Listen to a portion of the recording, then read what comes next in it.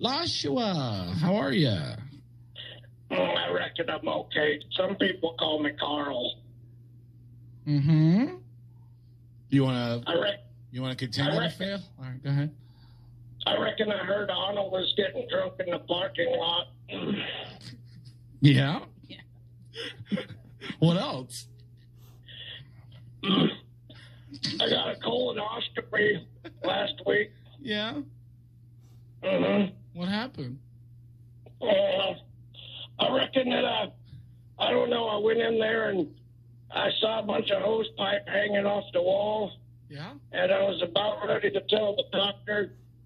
Uh, I reckon that he he didn't have to use all 50 feet of that hose pipe, but um, I reckon I woke up and my butt was kind of sore. Yeah. What else? Come out with stink like that. Poop. You poop oh. out.